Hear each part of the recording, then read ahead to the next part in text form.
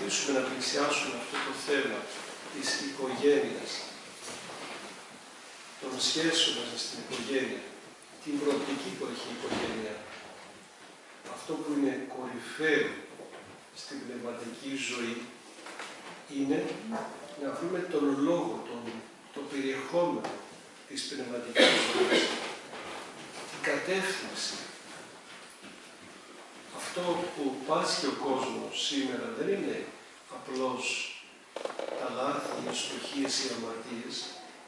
Είναι ότι ο άνθρωπος σήμερα, τη δύσκολη στιγμή, δεν ξέρει πού να στραφεί. Ποιος είναι ο λόγος για, να το, για τον οποίο ζει.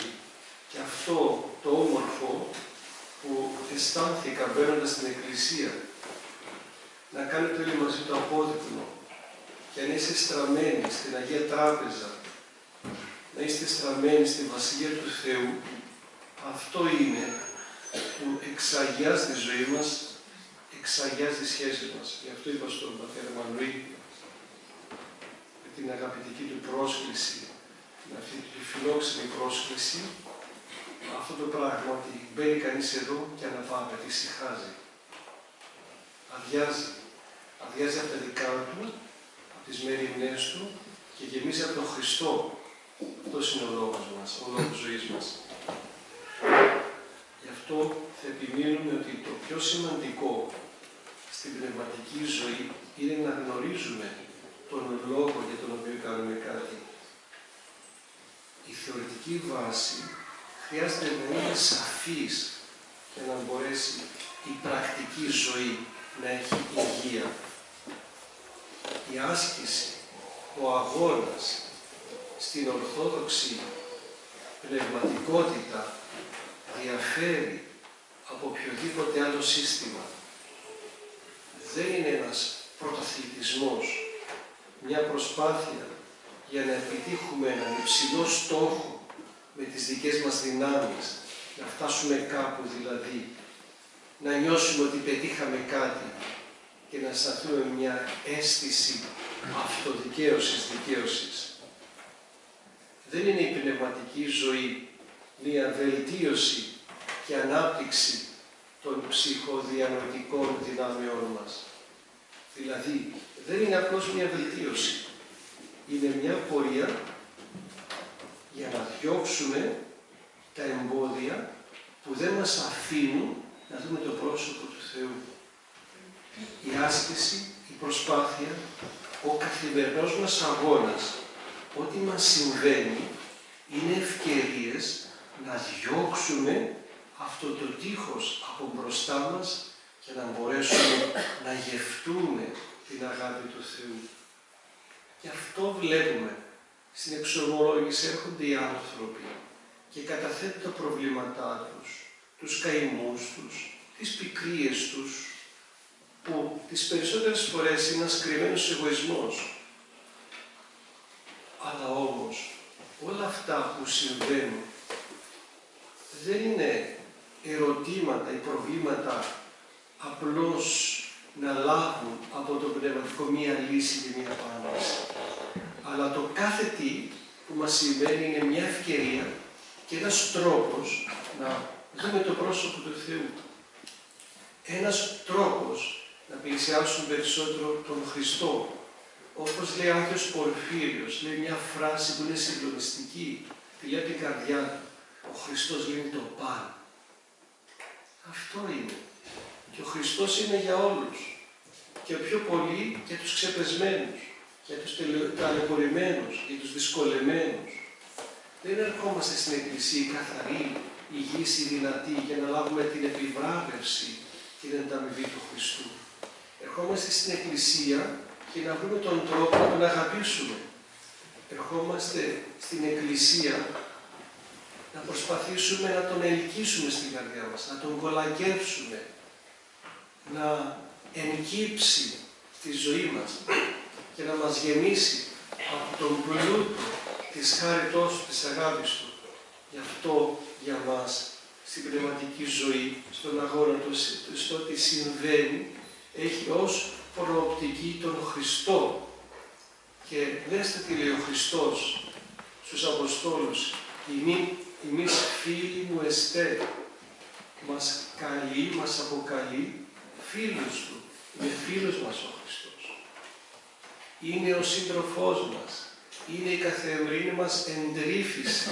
Είναι αυτός που είναι κάθε φορά δίπλα μας και μας δείχνει τον δρόμο. Τον δρόμο να γευτούμε περισσότερο την αγάπη Και τα προβλήματα και οι ευκαιρίες είναι μία δυνατότητα για κάτι τέτοιο στην Εκκλησία επίσης συμβαίνει και το εξής φοβερό. Όπως λέει ο Άγιος Ιωάννης ο Χρυσόστομος, μπαίνεις στην Εκκλησία λύκος και βγαίνεις περιστέρι. Δηλαδή, η Εκκλησία είναι το εργαστήρι που μεταποιεί τα πράγματα. Παίρνει το ψωμί και το κρασί και το κάνει σώμα και αίμα Χριστού. Παίρνει τους καημούς μας, τις δυσκολίες μας, τις αποτυχίες μας, τα αδιέξοδά μας, να τα, τα κάνει ευλογίες. Μας τα κάνει ως δυνατότητες να πλησιάσουν περισσότερο τον Θεό. Γι' αυτό δεν έχουμε στενοχώρια στην Εκκλησία, δεν έχουμε άγχος, δεν έχουμε εκκλησία, γιατί και το άσχημο μπορεί να γίνει ευλογία. Πώς, όταν ενταχθεί μέσα στο, σώμα του Χριστού στην Εκκλησία, Γι' αυτό και την Εκκλησία είναι όλοι. Ή περισσότερο οι αμαρτωλοί, οι δυσκολεμένοι, οι αποτυχημένοι. Γιατί ο πλούτος για μας είναι η φτώχεια μας, είναι η κατάντια μας, είναι η αμαρτωλότητά μας, είναι η αποτυχία μας την οποία μας παραδεχόμαστε και γίνεται συντριβή, γίνεται μετάνοια και αυτό γίνεται ο τρόπος να καρποχωρήσει η χάρη του Θεού. Έτσι λοιπόν, για να συνεχίσουμε, ο λόγος ζωής μας είναι ο Χριστός. Και αυτός είναι ο λόγος ζωής και μέσα στο κάπου. Γιατί ε, για να δούμε πιο πρακτικά θέματα και να μπορέσουμε να τα διερευνήσουμε, χρειάζεται να έχουμε το κριτήριο, το μέτρο μέσα από το οποίο αξιολογούμε τη ζωή μας και τα πράγματα να δούμε την οπτική. Συνήθως οι άνθρωποι θεωρούν ότι ο γάμος είναι ένα κοινωνικό γεγονός. Δεν ξέρω γιατί παντρεύονται, για ποιο λόγο κάνουν οικογένεια. Είναι μια έριξη, μια συνήθεια, γιατί έτσι πρέπει να γίνει. Δεν έχει ξεκάθαρη κάποια θέση ο άνθρωπος. Όπως δεν έχουμε κριτήρια ζωής, δεν έχουμε κριτήρια. Γάμου, κριτήρια συζυγίας, κριτήρια σχέσεων μέσα στην οικογένεια. Όταν συμβαίνει κάτι πώς το αντιμετωπίζουμε για να το δούμε; Με τη δική μας αντίληψη και τη λογική, με τη δική μας κρίση, με την κρίση του κόσμου, με τη δικαιοσύνη του κόσμου. Ή την βλέπω μέσα από την οπτική του Λόγου του Θεού, του θελήματος του Θεού, μέσα από την οπτική του ίδιου του Χριστού. Αυτό είναι ένα ερώτημα. Ας πούμε, η σχέση της αγάπης μέσα στο ζευγάρι.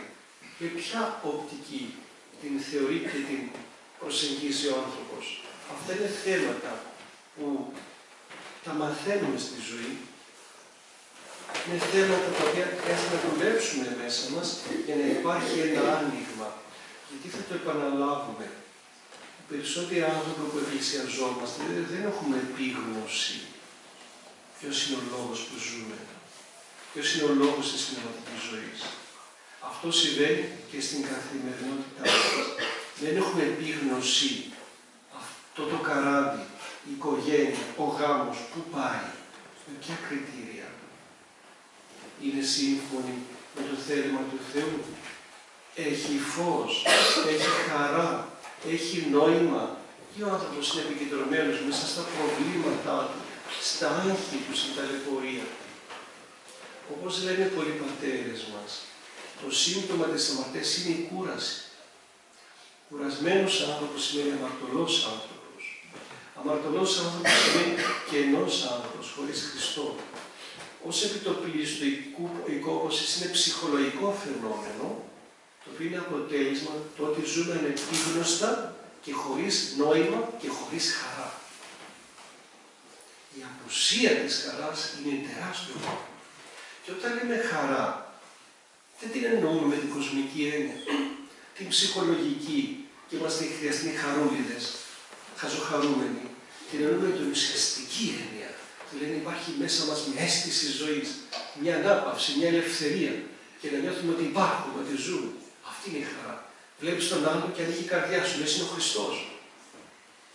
Αλλά εμείς είμαστε μέσα στα σκοτάδια μας, μέσα στην κατσουφιά μας, μέσα στην κατάθλιψή μας, μέσα στις ενοχές μας. Και πολλές φορές τις ενοχές μας το ονομάζουμε μετάνοια η πνευματική ζωή. Όχι, δεν είναι. Να διαβάσουμε τον Άγιο Πορφύριο να δούμε ποιο είναι το πνεύμα του Χριστιανού, να το διαβάσετε όσο διαβάσει το βίο. Δύο σκελογή είναι θαυμάσιο το Αγίο Πορφύριο. Λοιπόν, ο σκοπός του γάμου, όπως είπαμε, είναι ο Χριστός. Επιλέγει, τι σημαίνει αυτό; Επιλέγει ο άνθρωπος έναν σύντροφο. Πού τι είναι αυτός ο σύντροφος; Είναι συνοδοιπόρος σε αυτή τη συνάντηση. Ο σύντροφός μου τι είναι; Είναι αυτός με τον οποίο μαζί θα βοηθήσει ο ένας τον άλλο να βρούμε τον Χριστό. Εκεί θα δικαιωθεί η αγάπη μας, ο ερωτάς μας. Ή μέσα από το πρόσωπο του Χριστού θα αναπτυχθεί, θα αποκτήσει δύναμη ο έρωτας και η αγάπη μέσα στο ζευγάρι. Πορεύονται καθημερινά λοιπόν το ζευγάρι μέσα στην αμοιβαία υποταγή, ο ένας υποτάσσεται στον άλλο, όχι δουλικά, αλλά με σεβασμό, με αξιοπρέπεια, με αγάπη. Γιατί θα το λέγαμε καλύτερα αντίποτα υπακοή. Είμαι υπακοή. Ακούω, ακούει ένας τον άλλο. Αυτό είναι πολύ μεγάλο ζήτημα. Ξέρετε πόσο δύσκολο να ακούμε ένας τον άλλο. Όχι απλώς να ακούω ήχους που μου λέει ο άλλος, αλλά να ερμηνεύω τον λόγο του και να καταλαβαίνω την ουσία του άλλου ανθρώπου. Να μπορώ πραγματικά, όχι να έχω τα αυτιά μου, να κροάζεται η ύπαρξή μου τι θέλει να μου πει ο άλλος. Για να γνωρίσει το πρόσωπό του. Έχει μαγεία αυτό το πράγμα. Έχει γοητεία αυτό το πράγμα. Γιατί ακούγοντας τον άλλο, ακούγοντας τα βάθη της καρδιάς του άλλου, στο τέλος ακούω τον Θεό με αυτόν τον τρόπο. Είμαστε όμως κλειστοί άνθρωποι. Είμαστε όμως κλειστοί άνθρωποι, δεν ακούμε. Γιατί είμαστε κλεισμένοι τόσο πολύ στον εαυτό μας, στον εγωισμό μας. Ακόμα και η πνευματική ζωή μπορεί να κλείσουμε στον εαυτό μας και προσπάθει λέει, να βρούμε στον παράδεισο, να βρούμε μια γωνιά του παραδείσου. Ιδιοτέλεια και εκεί. Και σε αυτή την ιδιοτέλεια ακόμα του πατέρε που λένε και στην κόλαση Χριστέ μου αρκεί να με μαζί σου. Δεν μας ενδιαφέρει ούτε ο παράδεισος, ούτε η κόλαση μας ενδιαφέρει ο Χριστός. Λοιπόν, για να μπορέσουμε να μπούμε σε διαδικασία να ακούσουμε τον άλλο, χρειάζεται λίγο να βγούμε από την ιδιωτέλειά μας, από τον εαυτό μας, από τις φοβίες μας, από τις ανασφάλειές μας, από τις σκοπιμότητές μας, από τις φαντασιώσεις μας. Για να μπορέσει λοιπόν να είναι υπάκος στον άλλο, δεν έχει μια μορφή ποτάσουμε δουλικά στον άλλο, αλλά μπορώ και ακούω τον άλλο. Και υπάρχει διάλογος, υπάρχει σχέση μέσα στη ζωή της οικογένειας, χρειάζεται να υπάρχει ικανότητα ακρόασης. Όχι απλώς να κάνει υπομονή να ακούσω τι μου λέει ο άλλος. Πολλές φορές ούτε αυτό κάνουμε. Αλλά να ακούσω μέσα από το λόγο του το πνεύμα του άλλου, αυτό που φέρουν τα λόγια. Αυτά που εκφέρει ο άλλος τα λόγια, τι πνεύμα βγάζουν. Ποιος μπορεί όμως να ακούσει αληθινά τον άλλο. Αυτός που μπόρεσε και άκουσε και τον εαυτό του. Αυτός που μπορεί και στέκεται λίγες στιγμές μόνος, ήσυχος και ακούει την καρδιά του. Αυτό δεν το κάνουμε εύκολα άνθρωποι, τρομάζουμε. Νομίζω ότι θα μας πιάσει η κατάθλιψη, θα πέσουν τα τρομάκια στο κεφάλι μας. Όταν είμαστε μόνοι, δεν αντέχουμε, τρελαινόμαστε.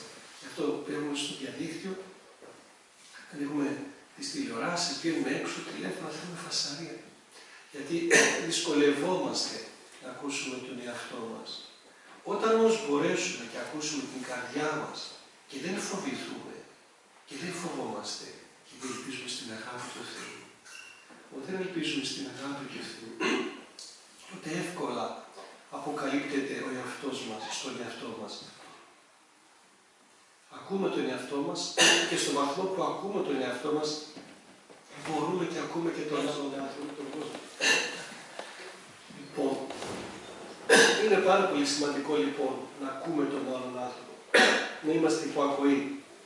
Έρχονται γυναίκες συνήθως και μου παραγωγούν και τους άντρες τους ή και το αντίστοιχο πράγμα, είναι πιο ασπάνια βέβαια. Όχι γιατί είναι κακές οι γυναίκες, αλλά είναι πιο ευαίσθητες. Και γιατί λιγότεροι οι άντρες εξομολογούνται. Έρχονται και μου παραπονούν.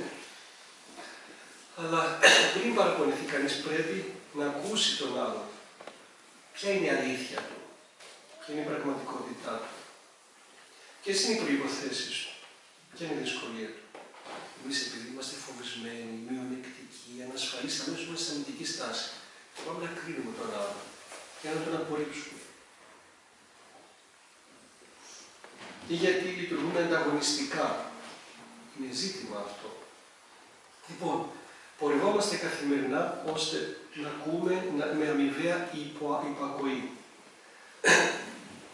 Πορευόμαστε λοιπόν ώστε με την αμοιβαία υποταγή, υπακοή, την κοινή αντιμετώπιση των προβλημάτων, την αγαπητική ένωση και αυτό προσφοράμε χαρά και θυσία, να καταπολεμήσουμε τι, τη φιλαυτία μας, τον εγωισμό μας. Προς τούτο είναι ευλογία ο γάμος, γιατί δεν είναι εύκολο να είσαι με έναν άλλον άνθρωπο δύο διαφορετικοί κόσμοι, δύο διαφορετικές ιστορίες. Θα αναγκαστείς για να συνεπάρχεις, να ψαλιδίσεις τις προσδοκίες σου, να χαμηλώσεις λίγο, να σιωπήσεις, να ακούσεις, να μιλήσεις την κατάλληλη στιγμή, να μπεις στη θέση του άλλου, να μοιραστείτε τα πράγματα. Αυτό σε οριμάζει. Η μάνα του θα γεννήσει, θα αναγκαστεί από τη στιγμή της κοιήσης να ζει τη ζωή κάποιου άλλου άνθρωπου του παιδιού. Θα ξενυχτήσει μαζί του, θα το παρακολουθεί. Τι ευλογημένο πράγμα. Αυτό αμέσως σε κάνει ταπεινό. Σε κάνει να ψαλιδίσει τον εγωισμό σου. Τη φιλαυτία σου, το θέλω σου. Και με αυτόν τον τρόπο αποκτούμε τις προϋποθέσεις να είμαστε πιο δεκτικοί στην αγάπη του Θεού και έτσι καλλιεργούν οι αρετές της ταπείνωσης, της στολής και του μοιράσματος. Είναι σπουδαίο πράγμα να μπορεί ο άνθρωπος να μοιράζεται τη ζωή του. Στην εποχή μας, στην οποία κυριαρχεί ακόμα και στους θρησκευτικούς ανθρώπους, ο ατομικισμός, το κλείσιμο στο συμφέρον, η αδυναμία να βγω από τον εαυτό μου και τα δικαιώματά μου, τα πράγματα γίνονται εξαιρετικά δύσκολα. Είναι μεγάλο θύριο αυτός ο εγωισμός και η φιλαυτία. Αντιδρούμε, κλωτσάμε. Ενώ καταλαβαίνουμε ότι είναι σωστό, ενώ καταλαβαίνουμε ότι είναι θέλημα του Θεού, ενώ θεωρητικά μπορείτε να διδάσουμε και στους άλλους, όταν είναι η στιγμή προσωπικά να θυχθούμε ή να περιοριστεί ο δικός μας χώρος, υπάρχει μια αντίδραση, ένας συλλογισμό. Γι' αυτό τον λόγο η ζωή μας, ο γάμος, είναι ένα άθλημα, όμως ένα σωτήριο άθλημα. Γιατί μας δίνει τις προϋποθέσεις αυτό το άθλημα να υπομείνουν, αν υπομείνουμε, να μας αποκαλυφθούν τα μυστήρια του Θεού. Όταν μάλιστα υπάρχουν μεγάλες δυσκολίες που δεν υπάρχει οικογένεια που δεν τις έχει, στην αρχή μπορεί να υπάρχει μόνο για θυμός. Βλέπεις ότι δεν σε βγάζει πουθενά. Μετά ο θυμός γίνεται εσωτερικός θυμός, κρατάς πράγματα μέσα σου. Βλέπεις ότι αυτό σου γεννά αρρώστιες. Τι σημαίνει να έχεις κρυμμένο θυμό, κρυμμένο λογισμό. Αυτό θα σε σκάσει, θα σε καταπιέσει, θα αρρωστήσει και το σώμα σου. Θα γίνει αγχώδης διαταραχή, θα γίνει κρίσης πανικού, θα γίνει κατάθλιψη, θα γίνει κάτι. Και αυτό το σύμπτωμα που είναι αποτέλεσμα της κακής διαχείρισης των πραγμάτων θα σε οδηγήσει να επανατοποθετηθεί στη ζωή. Δηλαδή στα πράγματα διαφορετικά. Δηλαδή είναι μαέστρος ο Θεός. Το φέρνει από εδώ, το φέρνει από εκεί να μας δείξει ότι είναι μονόδρομος ο ίδιος.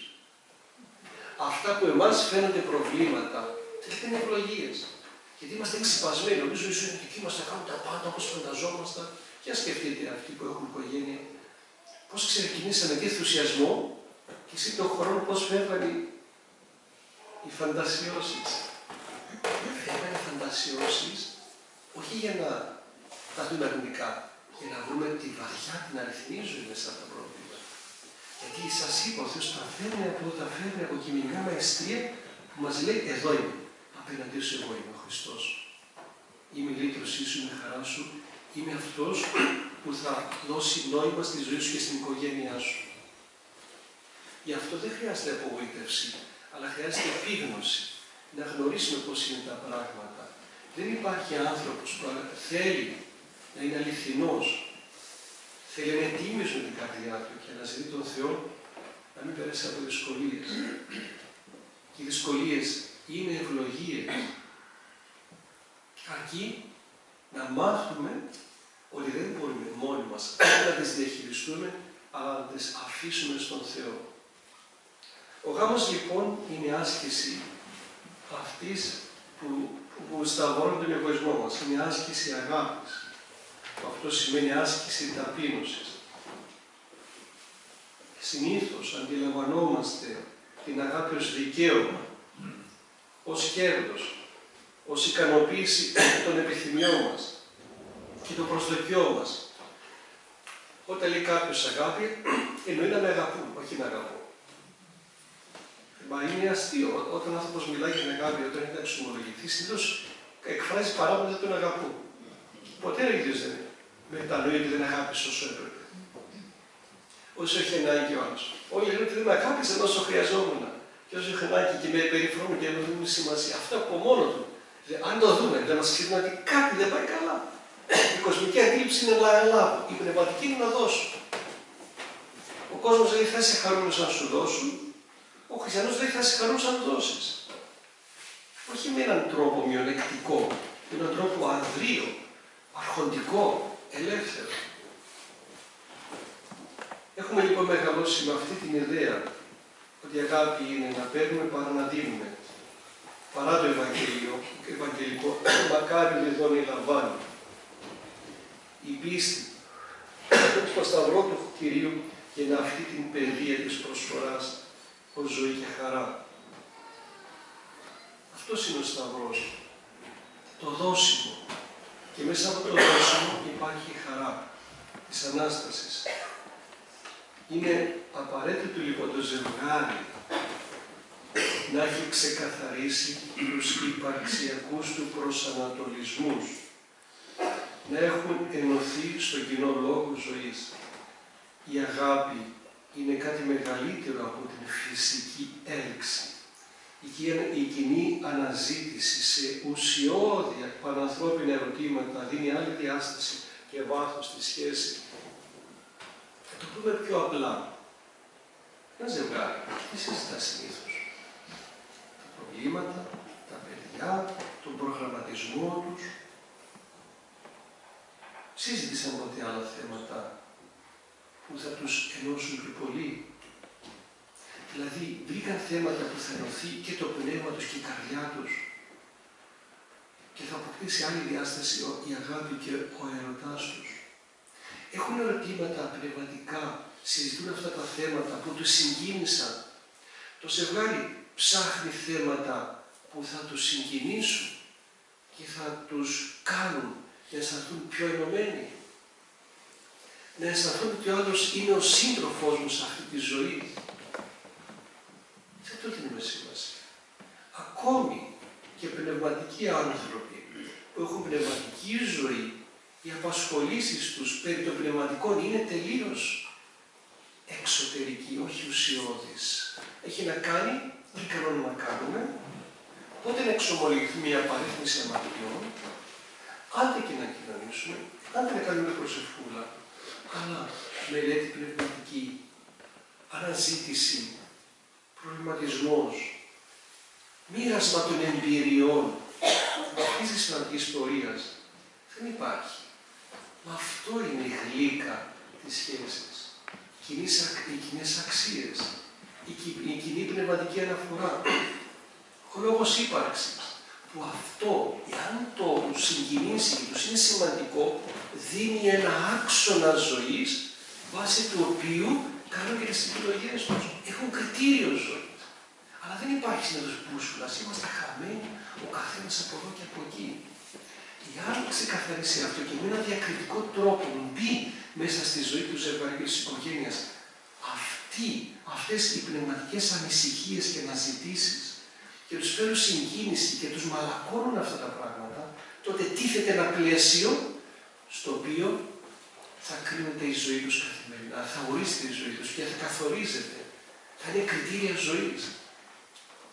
Για παράδειγμα, ένα ζευγάρι συζητήσει, ας πούμε, για την έννοια της μετανοίας. Συζητήσει από τη ζωή κάποιου Αγίου κάτι. Συζητήσει, συζητήσει μαζί την παραβολή του ασώτου Ιού. Και συζητήσουν αυτά με ένα λεπτό τρόπο και καθένα να προσθέσει κάτι. Αυτό είναι υλικό που δεν έχει σχέση. όχι με έναν διδακτικό τρόπο, όχι με έναν ελεκτικό τρόπο, με έναν όμορφο τρόπο. Ο οποίος έχει προσευχή μέσα του. Και μπαίνουν αυτά, χτίζουν μέσα στην οικογένεια ένα ήθο. Έναν τρόπο, μιας στάση ζωής. Και αυτός ο τρόπος και αυτής η στάση ζωής θα καθορίσει και τις επιλογές τους. Το ήθος των επιλογών γιατί δεν είναι μόνο να επιλέξω κάτι, να δώσω μια συμβουλή στο παιδί μου. Είναι και τι ήθος βγαίνει από αυτό. Τι τρόπος βγαίνει από αυτό. Γιατί το παιδί δεν ακούει τι του λένε. Κοιτάει τον τρόπο που του το λένε. Και τι βγαίνει από αυτό που του το λένε. Αποδοχή, σεβασμός, αγκάλιασμα ή έλεγχος και απόρριψη. Αυτό και στο παιδί συμβαίνει αλλά και στο ζευγάρι μέσα στη συζυγία. Και αυτό είναι πολύ όμορφο όπως έχουμε τις απασχολήσεις μας, θα πάμε να ψυχολογηθούμε, πρέπει να γίνονται αυτά. Θα πάμε μια εκδρομή, θα πάμε έξω να φάμε, να δούμε ένα κινηματογράφο, ό,τι θέλουμε μπορούμε να το κάνουμε.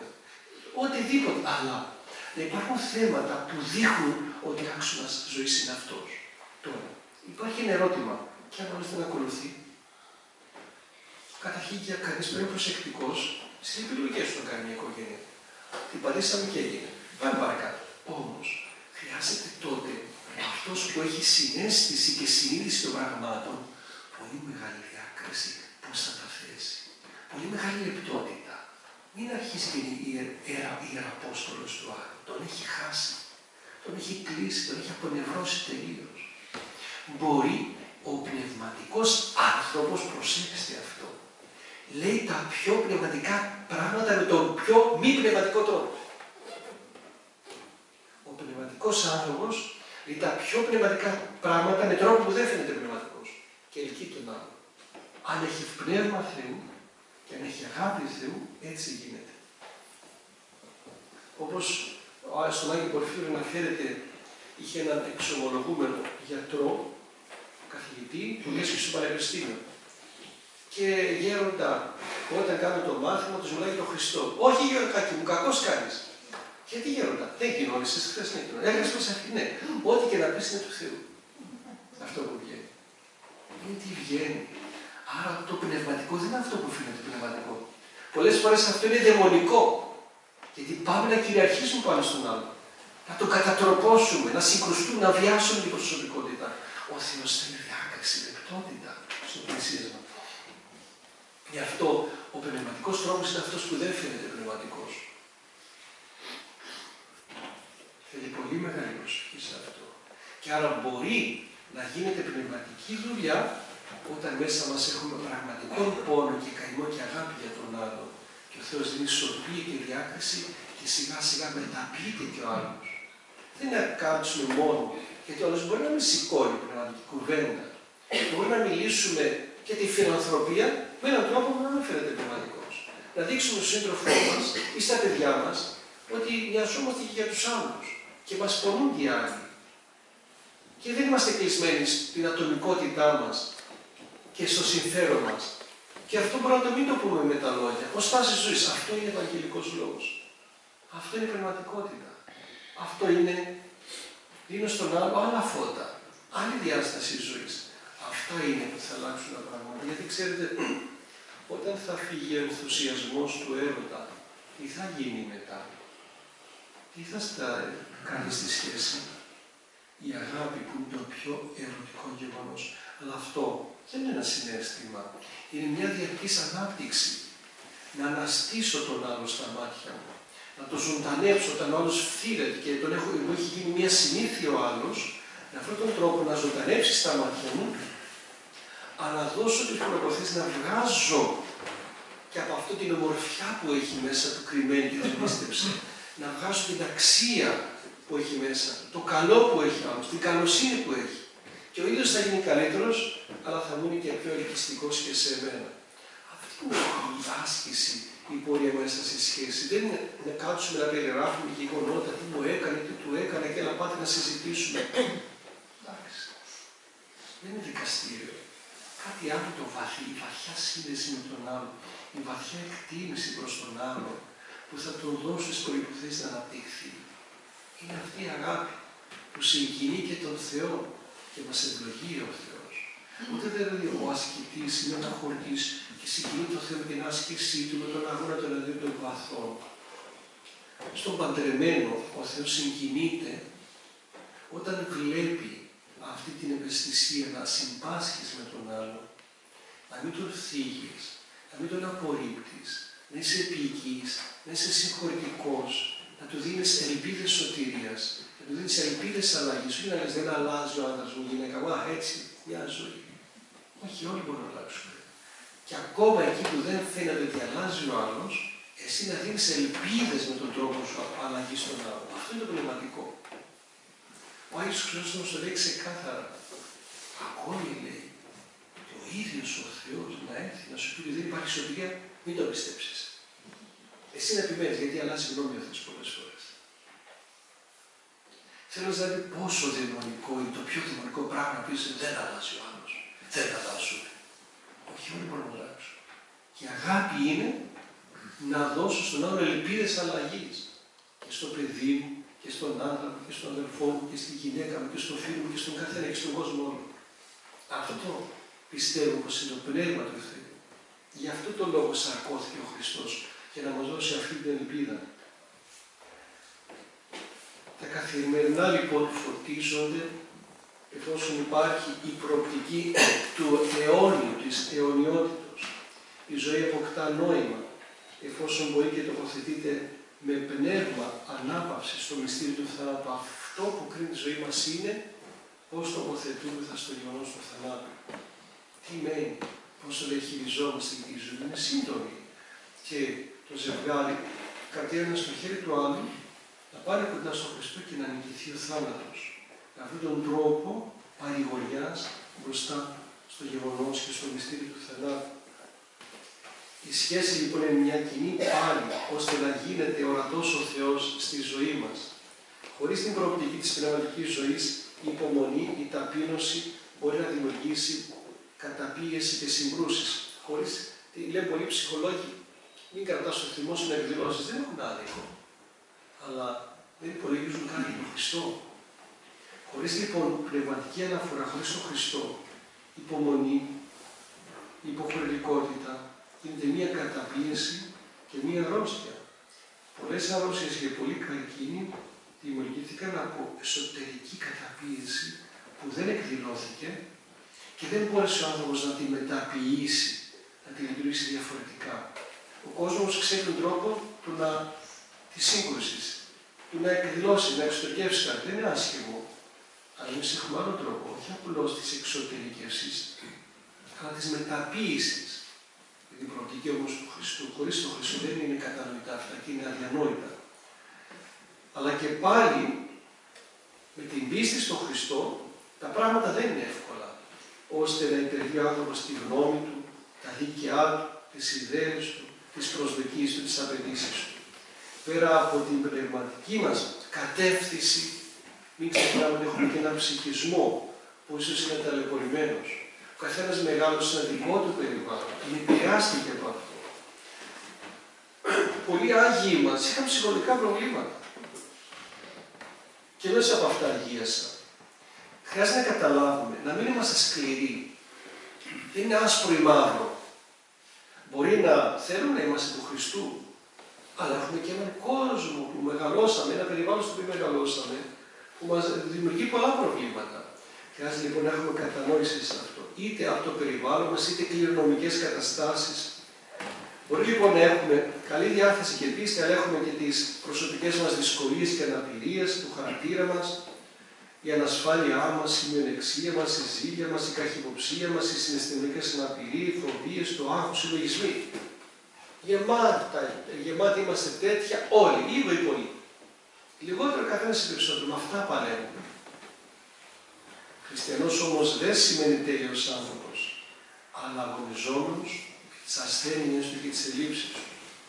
Άσκηση, αγώνας, αγάπης είναι αφενός να αποδεχτώ ειρηνικά και με ελπίδες το πρόβλημά μου, δηλαδή να μην με πνίγει αυτό.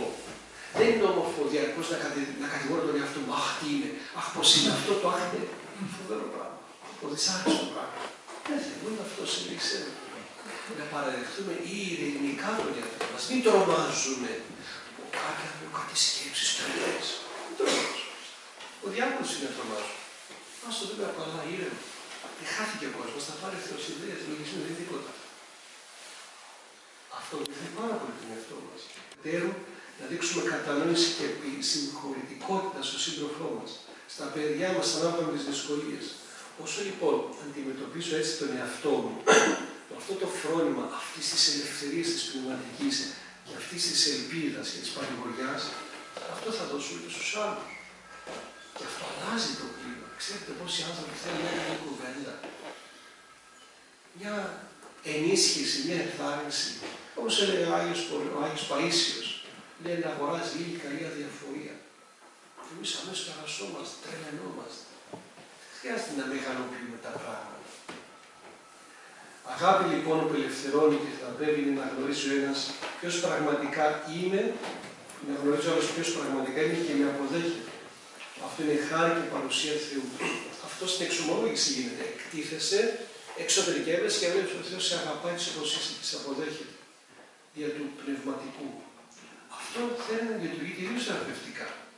Εκτίθεσαι και δεν απορρίπτεσαι, αλλά συγχωρείσαι. Αυτό είναι καλό μάθημα να το δίνουμε και στους δικούς μας ανθρώπους. Να τους καταλαβαίνουν και να νιώθουν ότι δεν τους απορρίπτουμε.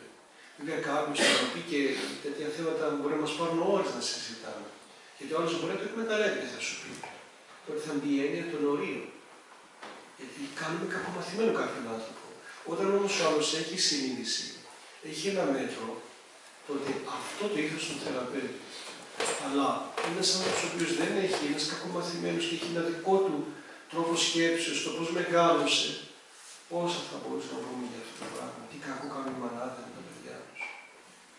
Ευνοχίζουν τους άντρες. Δεν Δεν τους αφήνω να μεγαλώσουν. Τα έχουν όλα στα έτοιμα στο χέρι. Αυτός ο άνθρωπος είναι τίγανο να γίνει να μεγαλώσει. Ή μια γυναίκα που έχει όλα τα καλούδια. Μεγαλώνει με όλη την ευκολία, την οικονομική, και χίλια δύο πράγματα. Τι θα γίνει αυτό; Δεν μπορεί να μπουν όρια. Και τότε τα πράγματα είναι διαφορετικά. Τέλος πάντων, τέτοια προβλήματα υπάρχουν πολλά. Όμως οι προσδοκίες και οι απαιτήσεις να διορθώσω και να αλλάξω τον άλλο είναι ένας εγωισμός και για να εντάσεις και διχασμούς. Δεν έχω δικαίωμα να αλλάξω τη γυναίκα με τον άντρα μου. Δεν έχω δικαίωμα να τον αλλάξω. Ο Θεός τον αλλάζει. Επιθυμώ να αλλάξει, όχι για μένα, αλλά για τον ίδιο, για την ίδια. Εμείς θέλουμε να αλλάξει για να, γιατί νιώθουμε ότι μας φύγει. Εντάξει, ανθρώπινο είναι και αυτό. Αλλά όμως, είναι να το δουλέψουμε. Καταλάβουμε ότι η αγάπη είναι να θέλω να αλλάξει όλους για αυτόν τον ίδιο. Και να ξέρω ότι δεν μπορώ να τον αλλάξω εγώ. Μόνο η αγάπη δεν μπορεί να αλλάξει. Και το φιλότιμο, να φιλοτιμηθεί ο άνθρωπος για να αλλάξει. Εξάλλου εμείς δεν μπορούμε να αλλάξουμε κανένα παρά μόνο η χάρη του Θεού. Τις περισσότερες λοιπόν, όπως είπαμε, φορές η επιθυμία μας να αλλάξουμε τον άλλο δεν είναι αγάπη, αλλά η επιθυμία μας να ικανοποιηθούν οι δικές μας προσδοκίες και οι δικές μας επιδιώξεις.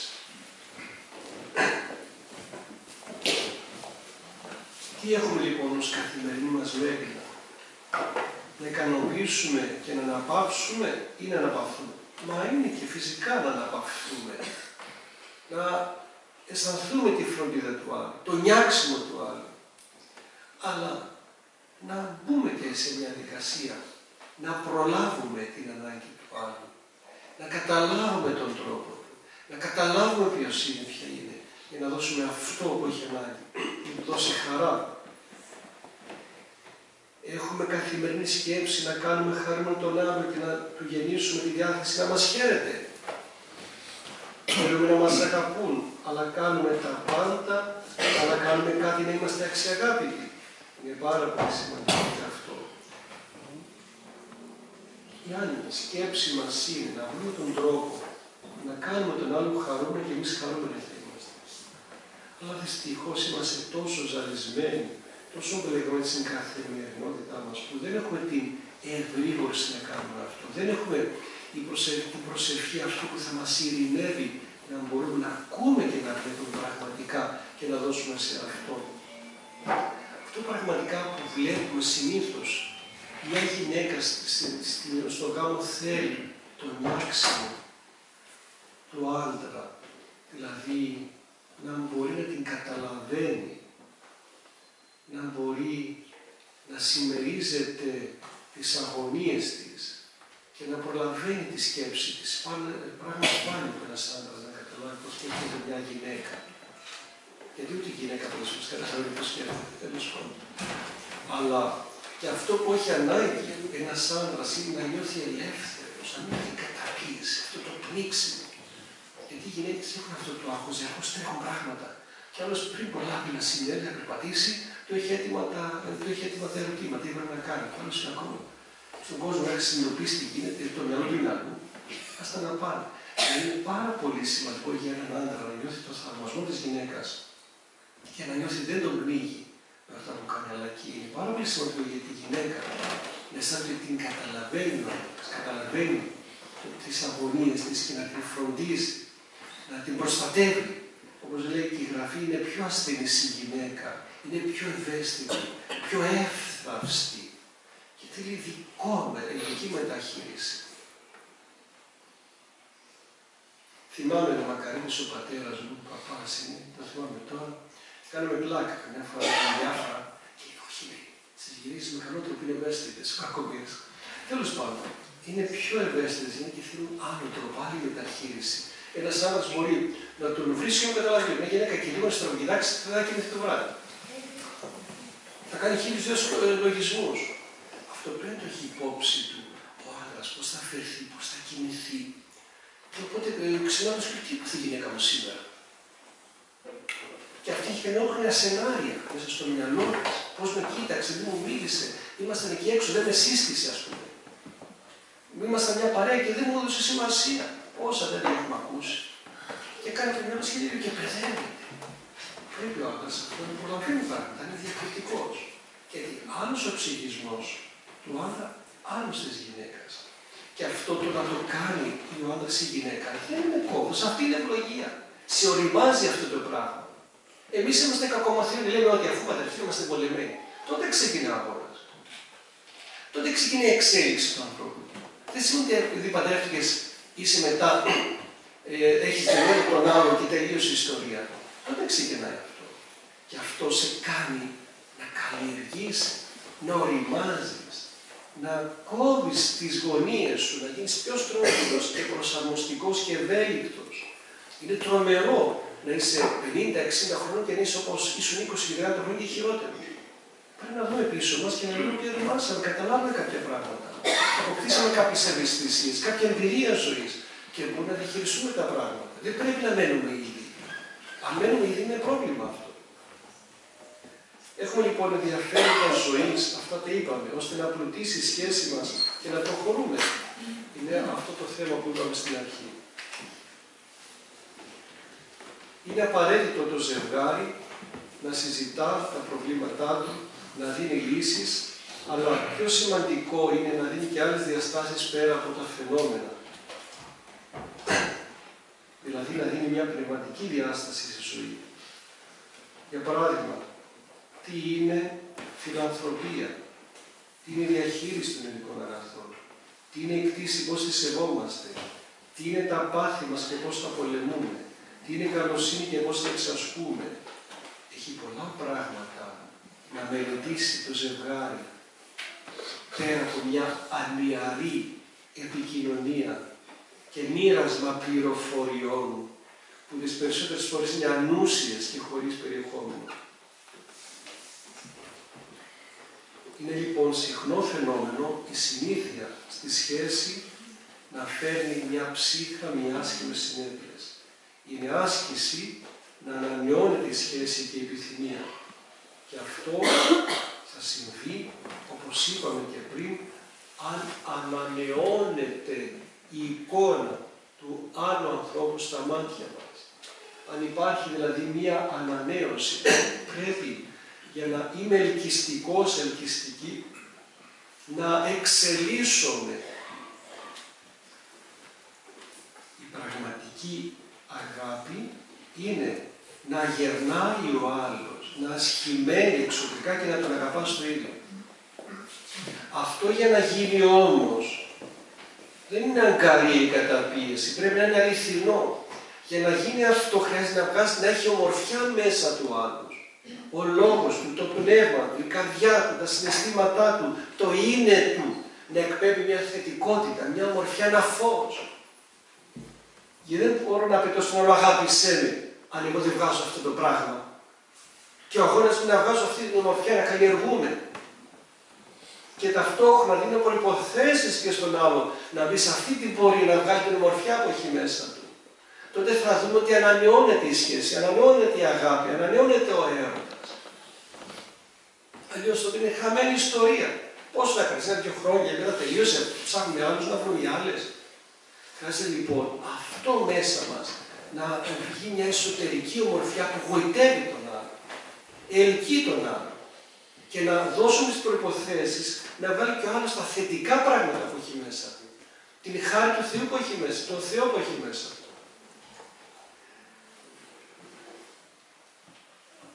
Αυτό λοιπόν απαιτεί λεπτότητα ψυχής που δεν ευνοεί ο τρόπος ζωής μας, οράθιμος και παθητικός. Αυτό που χαίρεται και τιμά ο Χριστός μας είναι η καλή ανησυχία και η διαρκής επώδυνη αναζήτησή του. Αυτό είναι που μας μορφώνει εσωτερικά. Καρπή, αυτό είπαμε, έτσι ξεκινήσαμε και έτσι θα καταλήξουμε, αρχή και τέλος είναι ο Χριστός.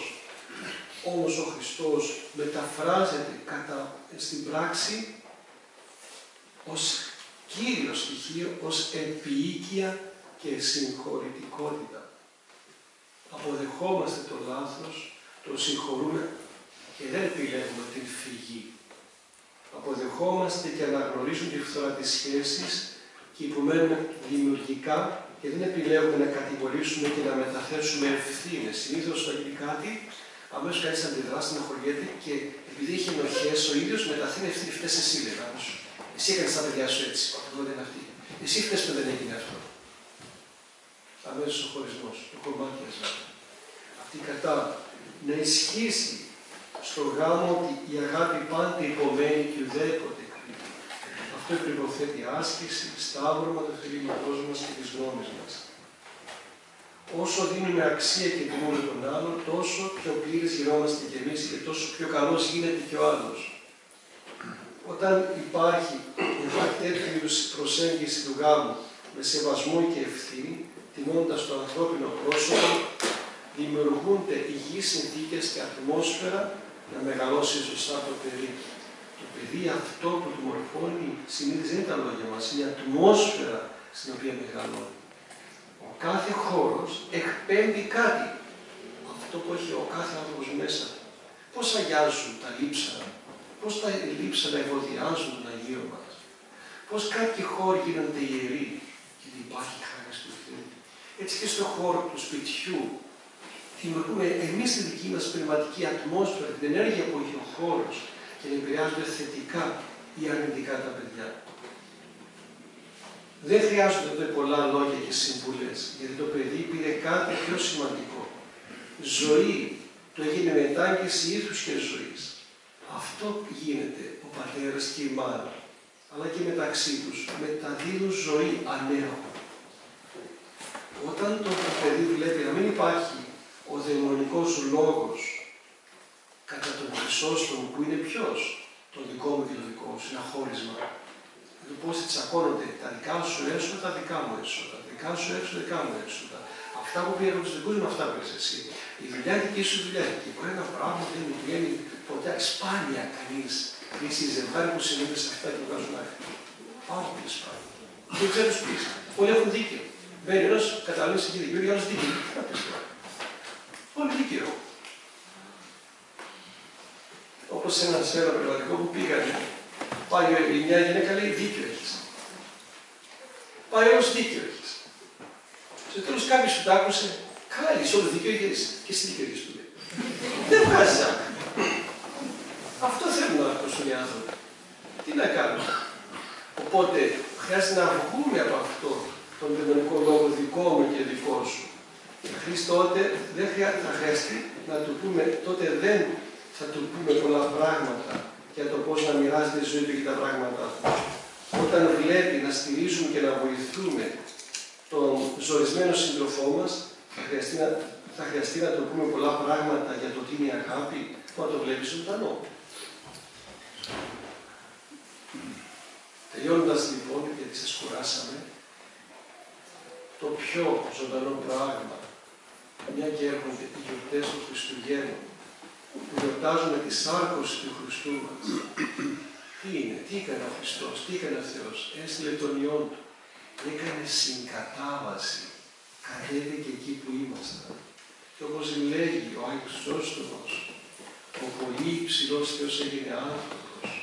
Και τι κάνει, λέει, ο Χριστός έρχεται και βρίσκει την πόρνη που είναι την ανθρώπινη φύση, ως εραστής και την παντρεύεται. Και λέει τότε, με αυτόν τον τρόπο αποκαθιστά και την παρθενία στην πόλη. Δηλαδή αυτό κάνει ο Χριστός, μια συγκατάβαση. Σαρκώνεται, μιλά το δικό μας τρόπο, έρχεται στην καλύβα μας, έρχεται στην ασχήμια μας, έρχεται στα σπίτια της καρδιάς μας, έρχεται στη βρωμιά μας και μας θεραπεύει και να μας μάθει να κάνουμε κι εμείς, στους άλλους αυτό το πράγμα. Αυτό είναι η ύψιστη μορφή πνευματικής ζωής. Και αυτή είναι η ύψιστη αρετή που μας προτείνεται στη ζωή μας και πολύ περισσότερο στην οικογένεια. Με αυτόν τον τρόπο τότε ανοίγονται άλλοι ορίζοντες, αλλά θα το πούμε, αν δεν έχεις Χριστό μην το κάνεις. Γιατί δεν θα πας στον παπά να τους πεις, θα πας. Θα γίνεις αποθυμένας σύμβουλος στις τρέλειες. Όμως εμείς τι λέμε, αναγνωρίζουμε την ανθρώπινη δυναμία μας, αναγνωρίζουμε τα διέξοδά μας, αλλά κάνουμε μια αρχή. Προσπαθούμε σιγά σιγά με αυτό το φόρημα του Χριστού, τη υπομονή, τη ελπίδα της παρηγοριάς, πρώτα να παρηγορήσουμε τον εαυτό μας, να σταθούμε στα πόδια μας και λίγο λίγο να δώσουμε κουράγιο και στους δικούς μας ανθρώπους. Αυτά από αυτό. Κουράσατε, σας κουράσατε. Η αλήθεια είναι αυτή. Πήραμε πολλές απαντήσεις και κάναμε και διαπιστώσεις, νομίζω, οι περισσότεροι μέσα μας. Αυτό που είπατε πριν, που έλεγε ο Όσιος Πορφύριος, ο αγαπημένος μας Άγιος, ότι ο Χριστός είναι το πάνω. Ότι τελικά είναι για μας τα πάντα εν βάση Χριστός. Έχουμε νουν Χριστού κατά τον Απόστολο Παύλο ή μορφώθηκε η μορφή του Χριστού στο πρόσωπό μας. Είμαστε όντως Χριστού ιανοί ή είμαστε κάπου αλλού. Γιατί τελικά είναι εκείνο το οποίο αλλάζει τη ζωή μας και μας κάνει να έχουμε τη χαρά, την οποία χωρίς τον Χριστό χάνουμε και δεν μπορούμε να την βρούμε πουθενά άλλου. Υπάρχει παράδοση, Πάτερ, μετά την ομιλία, να απευθύνουν όσοι από τους αδελφούς θέλουν ερωτήσεις. Όσοι θέλουν μπορούν να απευθύνουν τις ερωτήσεις στο σεβαστό μας πατέρα Βαρνάβα. Καμία ερώτηση λοιπόν. Είπα πολλά για να κουραστούμε, να μην χωρίσει η ερώτηση. Μας καλύψατε. Σας μπερδέψα. Δεν μπερδευτήκατε. Εκεί που πρέπει, ας πούμε, εμείς να ρωτάμε, να σκεφτόμαστε μάλλον στο- για το σύζυγο, ε, που πρέπει να διορθωθεί, ενώ μήπως πρέπει να διορθωθούμε εμείς αντί για το, για το σύζυγο, ας πούμε, και τα λάθη. Και να σκεφτείτε να διορθωθεί ο σύζυγος δεν θα διορθωθεί. Ναι, Απλώς θα περάσει η ώρα να σκέφτεστε. Εσείς διορθώστε τον εαυτό σας. ε, ε, Εσείς αν μπορείτε και θέλετε διορθώστε τον εαυτό σας και προσπαθείτε να προσπαθήσετε να δείτε διαφορετικά το θέμα ναι. του συζύγου. Κάντε προσευχή. Και άσχετα με το φιλότιμο. Εσείς ξέρετε το. Όπως κάνετε στο παιδί σας τι ευελιξίες, πώς το φαίνεται από εδώ, από εκεί, τι τακτοποιείτε, κάντε με τον άντρα σας. Με γνωσιμία. Κάποια θέματα βέβαια δεν είναι πιο ίδιους, είναι πιο σοβαρά. Εκεί θα βγει μια σοβαρή κουβέντα, θα είναι και όρια. Αλλά με έναν τρόπο σοβαρό, όχι κακομυρίστικο. Αυτό που δεν αντέχει όταν είναι μύρλα. Το κλεψούριστα. Δηλαδή, ναι, τι έχεις έρθει να σου. Κάνε άκρη. Γιατί έχεις μια λίγη μέσα και δεν αντέχει άλλος. Να είμαστε πιο ξεκάθαροι, πιο σοβαροί. Να κάνουμε οικονομίες σε αυτά τα πράγματα, πιο ευθύνες. Βέβαια, εντάξει, ανθρώπινε, θα κτονωθείς γιατί έχεις παράπονα μέσα σου κρατημένα. Αλλά μην τα αφήνουμε να κρεμούν πολύ καιρό. Δηλαδή, αν έχει μια καλή συνήθεια το ζευγάρι εξ αρχής, να καμιά φορά χάνει την μπάλα. Κάθε βράδυ, πριν κοιμηθούν, να συζητήσουν δύο-τρία πράγματα που πέρασε η μέρα. Γίνονται θέματα. Γιατί αν μείνει κάτι το βράδυ, γίνεται ιστορία στο κεφάλι μας και χωρίς γίνει χειρότερο. Και δεν υπάρχει αμοιβή εξομολόγηση. Καλό θα ήταν μόλις κάποιος παντρεύεται να κάνει μια συμφωνία. Να μην κοιμηθεί το βράδυ χωρίς κρεμότητα, χωρί να το λύσω. Όχι με επιθετική διάθεση, συγκρουσιακή. Με έναν τρόπο που γεφυρώνει τα πράγματα, ένα όμορφο πράγμα, με έναν όμορφο τρόπο να συνεξηγούνται. Να πω και δύο λόγια προσφέρει να κοιμηθούν. Αυτό βοηθάει πάρα πολύ. Αυτό όμως δεν το κάνουμε γιατί είμαστε ανασφαλεί.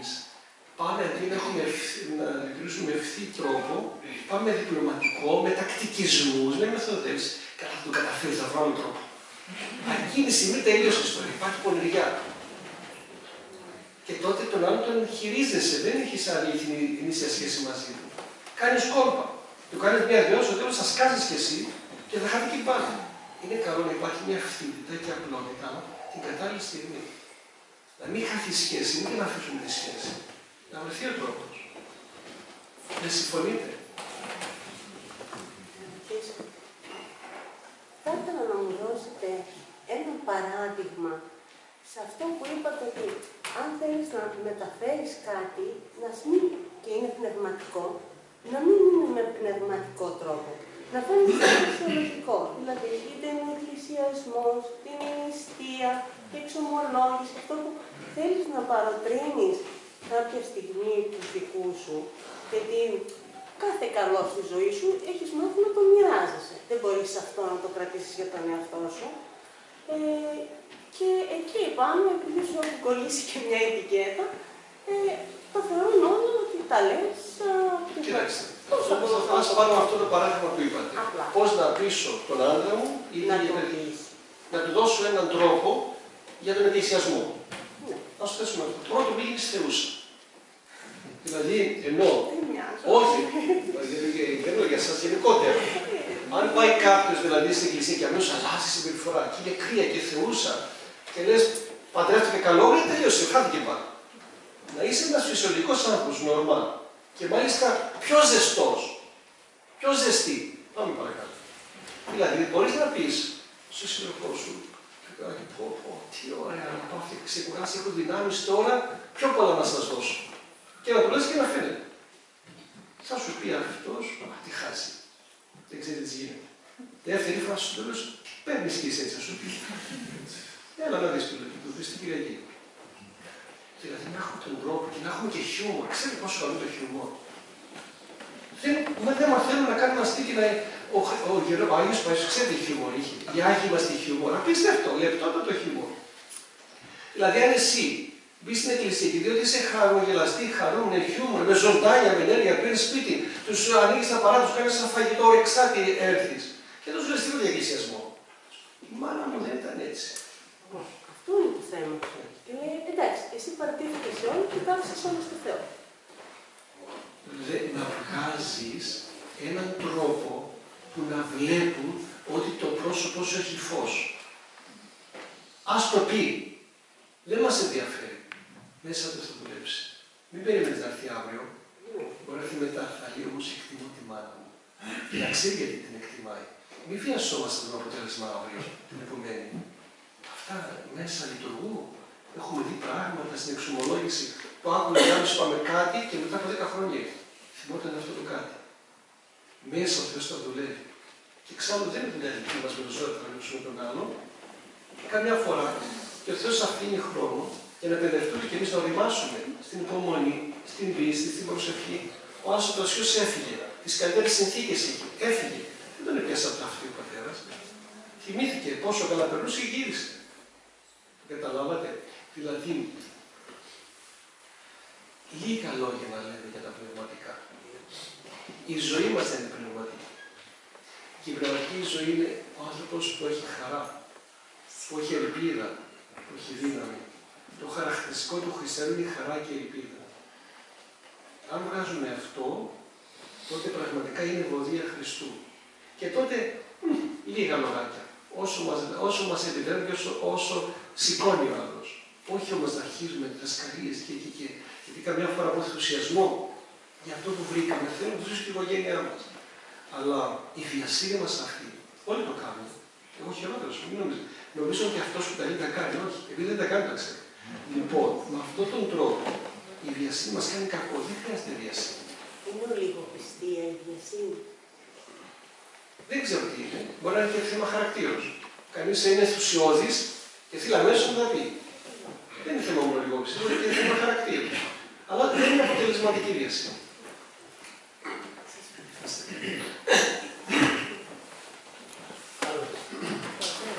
Λίγο στο θέμα της υπακοή, όπως την λέει μέσα στην ε, διαγραφή επιστολές του Αποστόλου Παύλου και του Αποστόλου Πέτρου, μιλάνε για υποταγή της γυναίκας. Όπω στη σημερινή πραγματικότητα έχει αυτή την ίδια διάσταση, δεν ξέρω με τι. Χρειάζεται να προβάλλουμε το λόγο του Αποστόλου Παύλου στην εποχή. Ποια ήταν η θέση τη γυναίκα, του άντρα κλπ. κλπ. για να μπορούσαν να ερμηνεύσουν το θέμα. Αλλά οπωσδήποτε δεν εννοεί την υποταγή την δουλική. Ή και έτσι να το πάρουμε, λέει και για τον άντρα κάτι. Να σταυρώνει τη γυναίκα. Λέει να υποτάσσει τη γυναίκα και άλλο να σταυρώνει. Ποιο χειρότερο είναι, ποιο χειρότερο. Εγώ θα αποτελούν σε ένα υποταγό, μπορώ να σταυρωθώ. Και επιτρέψτε μου πάνω σε αυτό. Πολλοί πνευματικοί λένε «Α, άστο εκείνο. Ή σταυρώνεται ή όχι είναι δική του ας πούμε Όχι, ευθύνη. όχι, όχι, όχι. Η υπακοή δική σου είναι Η, υποδικό υπο- σου η- κανόνα. η υποταγή προϋποθέτει το σταύρωμα του άντρα. Όχι απροϋπόθετα.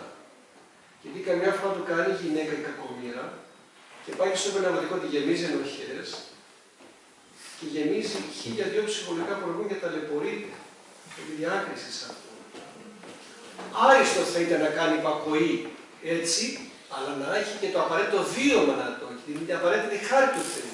Αν το κάνει με έναν τρόπο μιμητικό, χωρίς να έχει συνείδηση και πνεύμα Χριστού που την ενθαρρύνει και κάνει κάτι τέτοιο, Και χωρίς να έχει τόση πίστη, γιατί και τα έργα μας και τα βιώματά μας πρέπει ανάλογα με, τη, με την πίστη μας.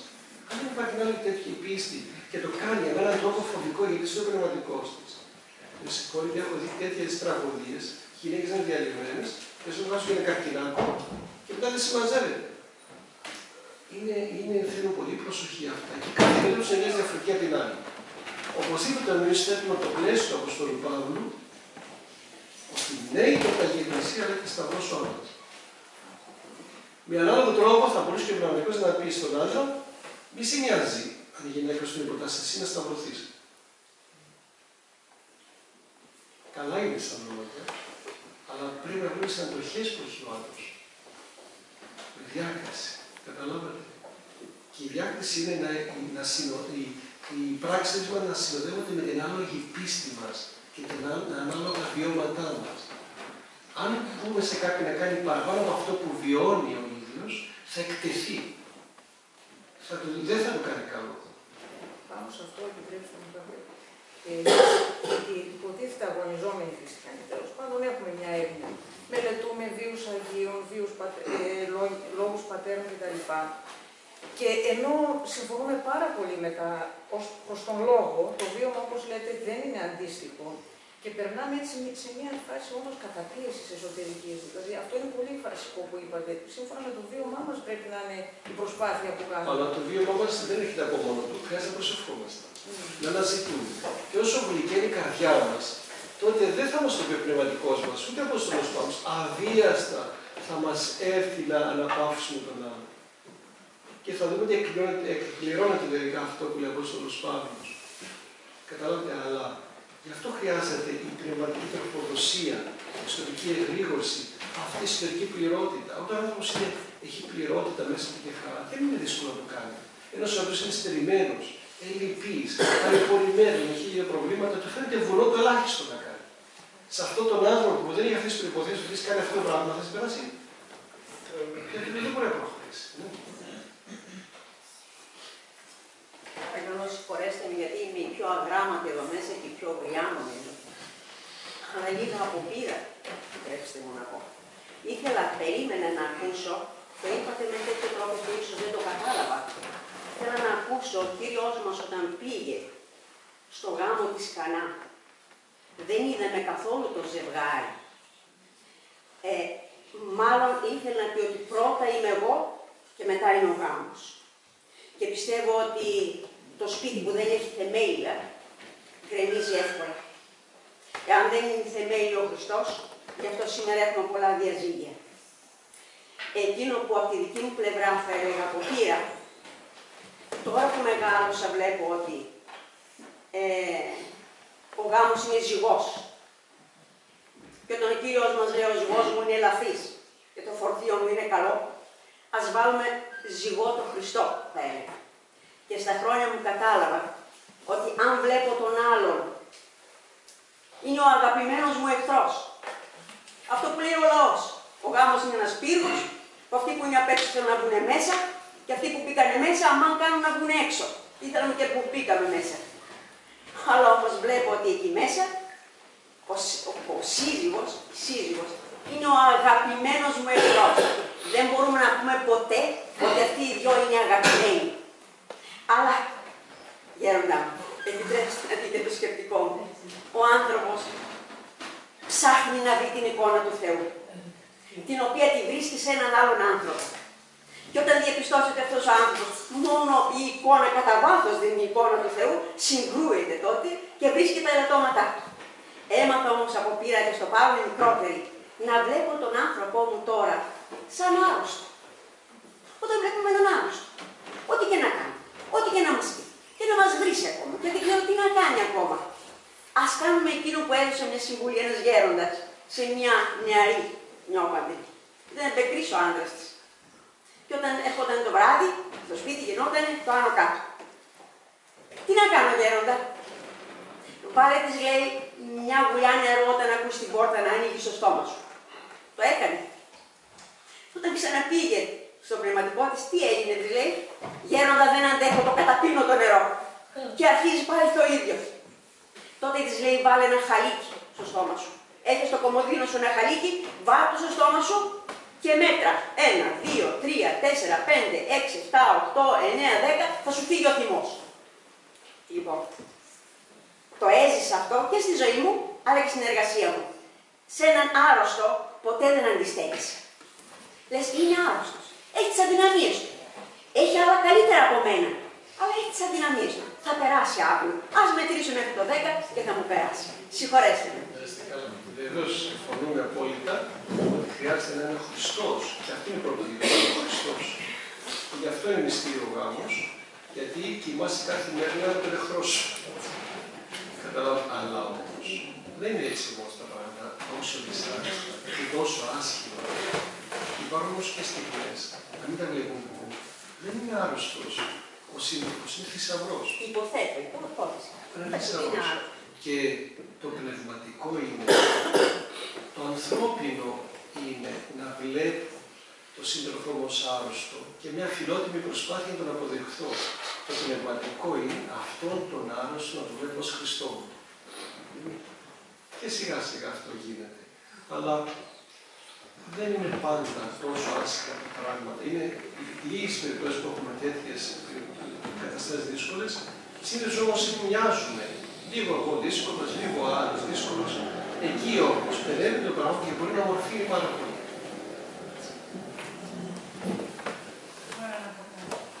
Ε, εγώ από την εμπειρία μου, αυτό που έχω καταλάβει είναι ότι αυτόν που μας θέλει ο Κύριος για, για σύζυγο είναι αυτός με τον οποίο ε, δουλεύοντας ας πούμε και αγωνιζόμενοι και πορευόμενοι μαζί θα αμπλύνω εγώ τα στραβά μου, θα αμπλύνει εκείνος τα στραβά του, λίγο θα, ε, θα, όπως το ξύλο, που το πελεκάμε τα δύο κομμάτια και εφάπτονται και ταιριάζουν, έτσι δηλαδή, ε, μας στέλνει για να μας παιδεύσει και να τον παιδεύσουμε. Δηλαδή, υπό αυτή την έννοια που το, το καταλαβαίνω.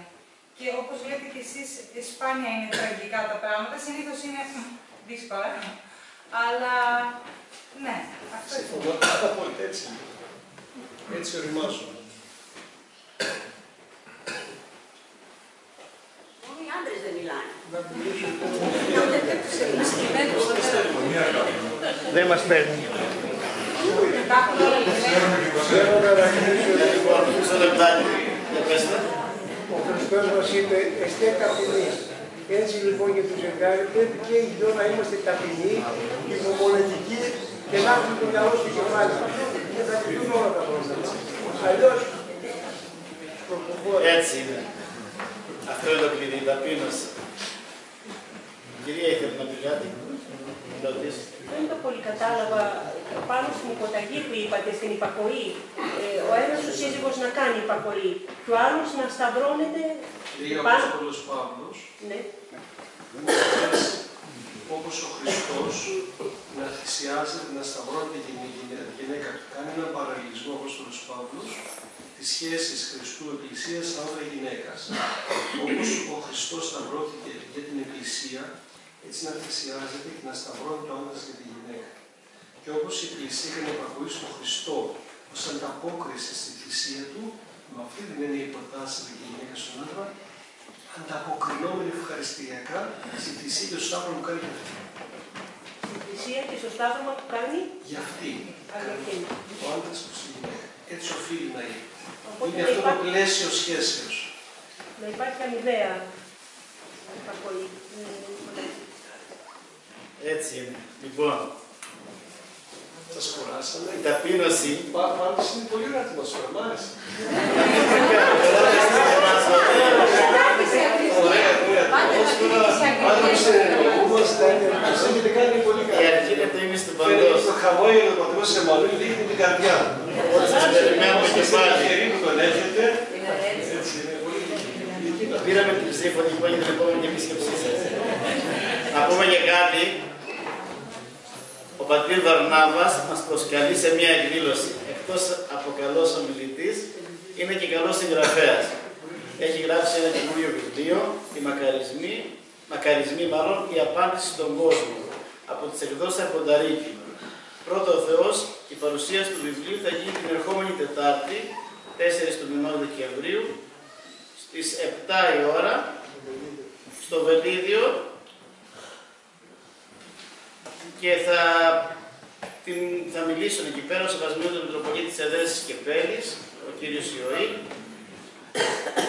ο πατήρ Εφραίμ Τριανταφυνόπουλος, που είναι πρωτοσύγγυλος της Ελλάδας Ανθρωπόλος Ιατίστης, και ο πατήρ Περίδων Βασιλάκος, που είναι εφημέριος του Ιερού Ναού Αγίου Λουκά Ιβών και προϊστάμενος εκεί του ραδιοφωνικού σταθμού, ο οποίος είναι εξίσου πολύ καλός ομιλητής και τον οποίο πάντα, όπως σας είπα, τον έχουμε κλείσει κι εμείς για την ενορία να έρθει πρώτα ο Θεός 6 Φεβρουαρίου.